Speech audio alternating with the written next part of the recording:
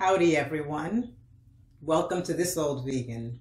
My name is Merlene Vassall and in this video I'm going to share with you what I did when I found a mouse in my house. Now I love animals but I don't invite mice to share my house with me. So I was pretty surprised one day when I came into my office and saw this little critter running around on my radiator. I believe that she came in through an open window and made her way down the curtain, but then she was unable to find her way back out. Now, I have cats, and I was really concerned that they would kill her, so I had to find a way to get her out of my home quickly. Fortunately, I already had a humane mousetrap.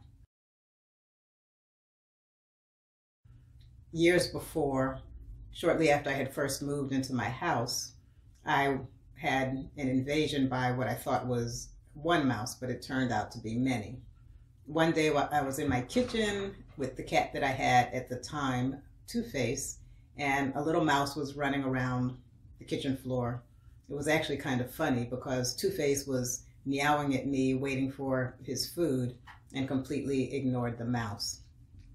Anyway, at that time, I purchased a humane mouse trap, which I set out. And I also plugged some holes that were in the wall underneath my kitchen door. And that was what I thought was the end of it. I caught actually several mice and released them outdoors. So now, fast forward several years, and I'm in my office and I see Minnie Mouse running around on top of the radiator.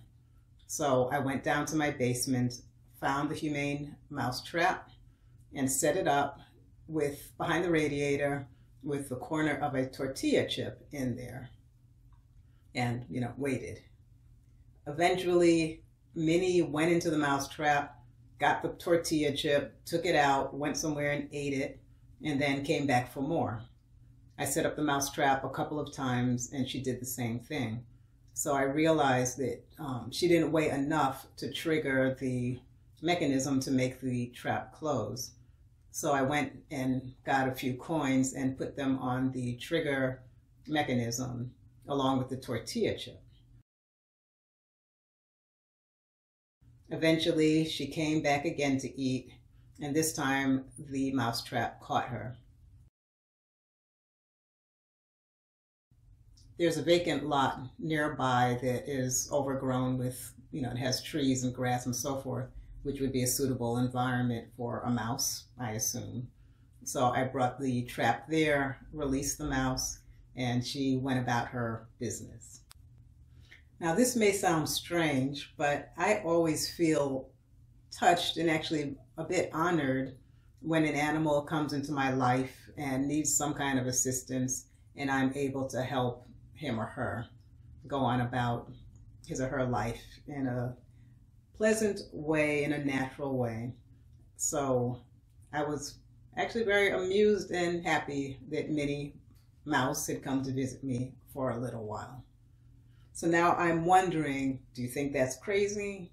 And would you leave in the comments stories of any time that you were able to help or rescue an animal?